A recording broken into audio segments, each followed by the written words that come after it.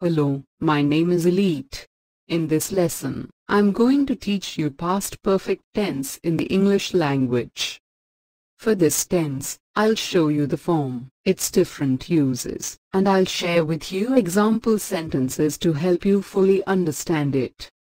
So, if you're ready, let's begin. Now I'm going to explain all the aspects of past perfect tense. What is the past perfect tense? The past perfect tense is used to show that something happened before another action in the past.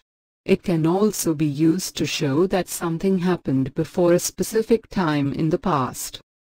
Now let me explain the sentence making formula of past perfect tense. The formula for past perfect tense when the sentence starts with any subject I, we, you, they, he, she, it, common, proper nouns or plural followed by helping verb had, then a verb in its third form followed by an object which is optional. Let us see some examples of past perfect tense. I had run every weekend. We had walked slowly. You had played football. They had read books. Boys had gone to school regularly. He had got up early every day. She had loved to play basketball. It had run fast. Alex had brushed her teeth twice a day. My father had gone to gym every day. Now let me explain the conversion formula of past perfect tense sentences into negative sentences. For converting these sentences into negative sentences, the formula is when the sentence starts with any subject I, we, you, they, he, she, it, common, proper nouns or plural followed by helping verb had plus not then a verb in its third form, followed by an object which is optional. Let us see some examples of negative sentences of past perfect tense. I had not run every weekend. We had not walked slowly. You had not played football. They had not read books. Boys had not gone to school regularly. He had not got up early every day. She had not loved to play basketball. It had not run fast. Alex had not brushed her teeth twice a day. My father had not gone to gym every day.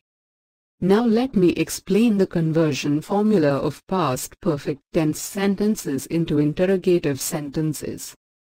For converting these sentences into interrogative sentences, the formula is that first you add had when there is any subject like I, we, you, they, he, she, it, common, proper nouns or plural then a verb in its third form followed by an object which is optional. The sentence ends with a question mark. Let us see some examples of interrogative sentences of past perfect tense. Had I run every weekend? Had we walked slowly? Had you played football? Had they read books? Had boys gone to school regularly? Had he got up early every day? Had she loved to play basketball? Had it run fast?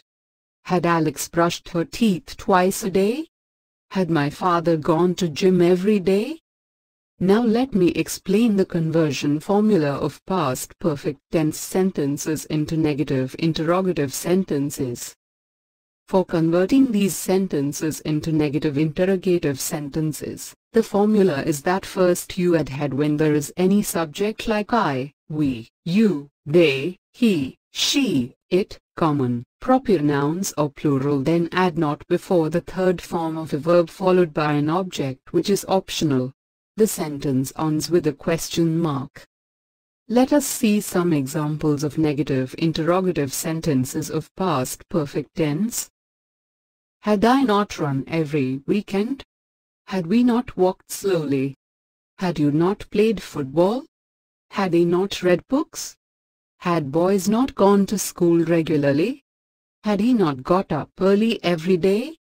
Had she not loved to play basketball? Had it not run fast?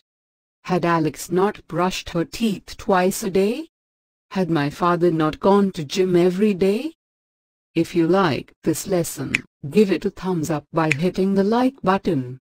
If you are new to my channel, make sure to subscribe by clicking the subscribe button to get my latest lessons right here on YouTube. Happy learning and I will see you in another lesson soon.